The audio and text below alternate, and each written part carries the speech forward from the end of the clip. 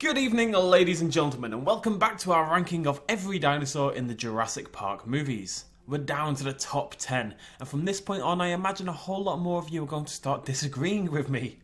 Splitting the remaining 10 creatures was a lot more difficult than I imagined it would be, and there's certainly a couple of somewhat controversial choices coming up in the next couple of episodes.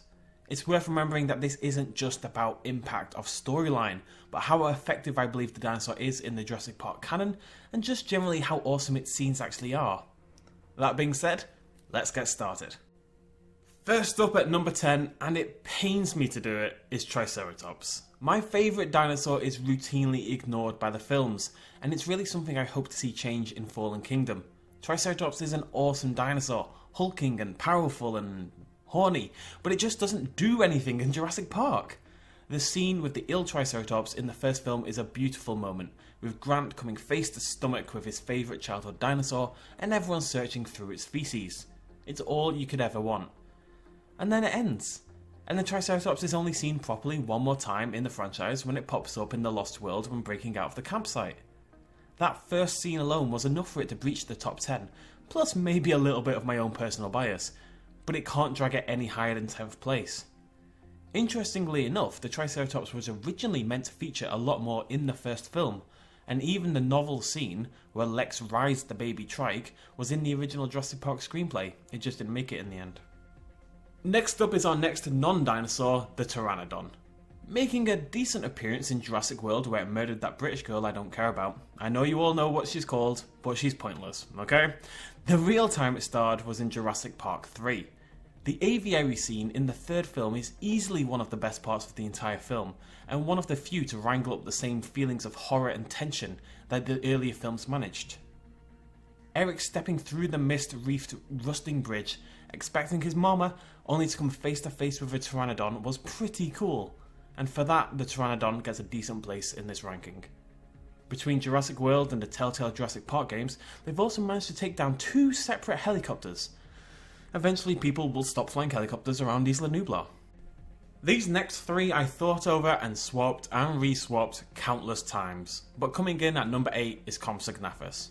Replacing the Pro-Compsognathus from the novels, this quirky little creature makes a brief appearance in Jurassic Park 3 mainly as a way for Eric to display his pee collecting prowess.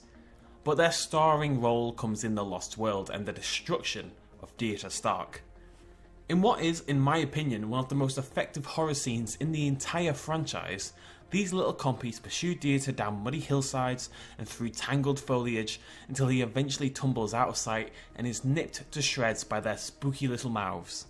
The music, the way the scene builds up from his initial cockiness to his blood curdling screams is awesome, and was nearly enough to raise the compies higher up on this list. They also turn into Ian Malcolm at the start, which is Weird, but okay, whatever. and their Pro-Compsognathus equivalent was the very first dinosaur in the very first novel. It's worth noting that on some notations, the film version is actually still referred to as a Pro-Compsognathus, but in canon, it is a standard old compy.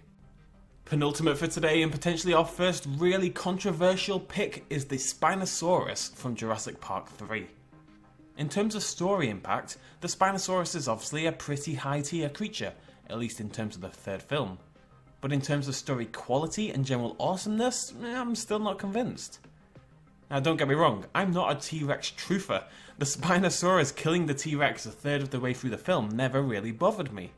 What does bother me is its relentless pursuit of some pretty irrelevant little humans across an entire bloody island. It's nothing more than a movie monster, it's not a dinosaur, and it genuinely could have come in lower if I didn't enjoy the scene with the ruined aircraft and its earlier obliteration of poor poor Cooper. Once it's murdered some mercenary dudes, the Spinosaurus just doesn't really prove to be much of a threat for the rest of the film. It's big and spooky, sure, but what does it actually do? Nothing. Though it does eat a poor defenseless mobile phone, I guess. RIP mobile phone. Diving in at number 6 on our last creature for today is everyone's favourite aquatic beastie and our final non-dinosaur, the Mosasaurus. There's a reason this guy was plastered all over the promotional material for Jurassic World, despite only appearing three times in the entire film, and even then, only briefly. But oh, it does so much with that appearance. Introduced via the feeding show and the underwater viewing area that I really, really, really like. It pops up later to munch on the British gal before finally getting tagged in for the assist and dragging the Indominus Rex down into the murky depths. The Mosasaurus is a perfect example of how to introduce an important new creature into the franchise, and I hope it's an example they take advantage of in the future.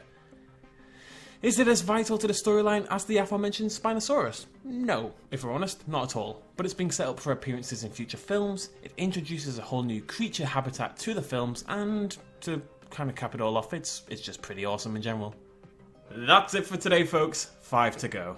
This really was a difficult part to do. Many of these creatures could have been moved about, and for a long time, the Spinosaurus was actually in the top 5 before I bumped it down.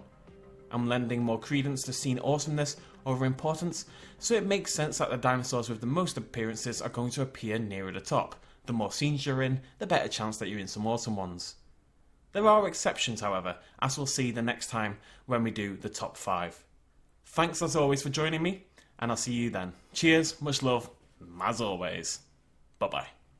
Hey guys, if you enjoyed this video, please consider smashing that like button down below, it really helps me out, and also hitting the subscribe button if you want to be kept up to date with brand new videos about dinosaurs, animals, aliens, and everything else we do here on the Best in Slot channel. All of you who have subscribed so far, that's awesome. Make sure you hit that little bell icon, I'll highlight now, otherwise you may actually miss out on the content anyway, because YouTube is silly.